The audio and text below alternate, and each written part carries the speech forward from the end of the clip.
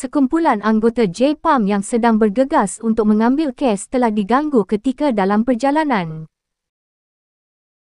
Mengikut maklumat, kenderaan milik JPAM ini telah diganggu oleh seekor kucing yang memanjat di atas bumbung kenderaan.